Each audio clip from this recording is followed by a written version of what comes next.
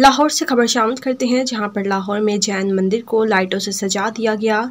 याद रहे कि जैन मंदिर को उन्नीस सौ अठानवे में मस्मार किया गया था, लेकिन सैमुल प्यारा चेयरमैन आईएमआरएफ की दरख्वास्त पर सुप्रीम कोर्ट ने मंदिर की तामीर का हुक्म दिया और पंजाब ट्रस्ट बोर्ड ने इसको तामीर किया और उसको खूबसूरत बनाने के लिए भी काफ़ी सारा काम किया गया। सैमुल प्यारा ने नेशनल न्यूज़ के डायरेक्टर डॉक्टर फ्रांसिस सुदागर को बताया, अभी मंदिर में मजीद काम होने वाला है, जिसमें वहाँ पर इबादत गाह बनाई जाएगी। और सिक्योरिटी के इंतज़ाम पूरे करने की भी ज़रूरत है। एक बार फिर आपको बताते चले कि लाहौर में जैन मंदिर को लाइटों से सजा दिया गया।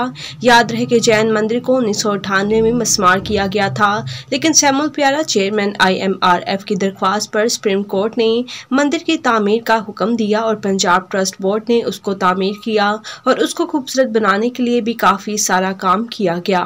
सैमुल प्यारा ने नेशनल न्यूज़ के डायरेक्टर डॉक्टर फ्रांसिस सौदागर को बताया कि अभी मंदिर में मजीद काम होने वाला है, जिसमें वहाँ पर इबादत गाह बनाई जाएगी और सिक्योरिटी के इंतज़ाम पूरे करने की भी ज़रूरत है।